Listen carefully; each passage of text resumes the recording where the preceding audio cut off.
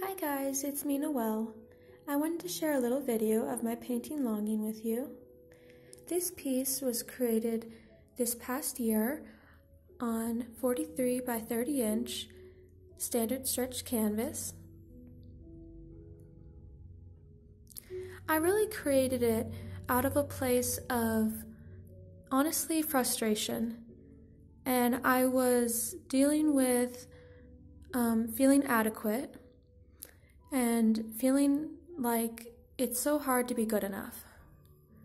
I created this painting and everything just like sorted itself out. And I realized that I am good enough. I am enough. And I don't need to try so hard. I also heard about this thing called fractals, which are repeated shapes in nature you see them in the ocean, you see them in rocks, and see them in flowers.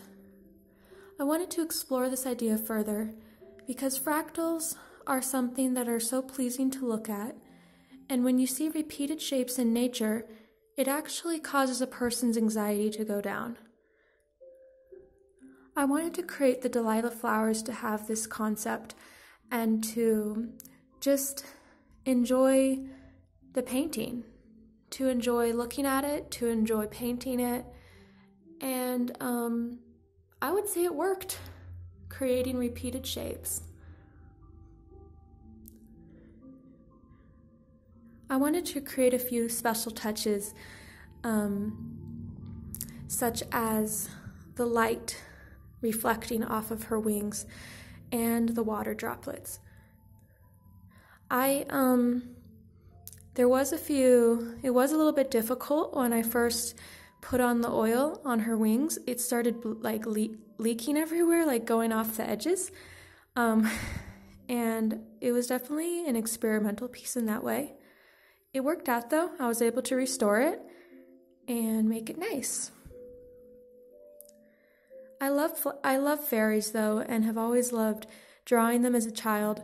So this painting really kind of brought me back to those childhood dreams and feelings and really just wanting to spark that sense of wonder and um I feel like she's representing she's looking at the the little water droplet as rep- representing her dream and that it's honestly right in front of her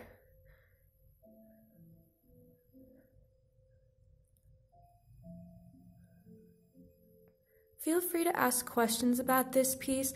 I honestly am still um, processing all of its meaning, so I just kind of shared with you what um, I feel like I somewhat know.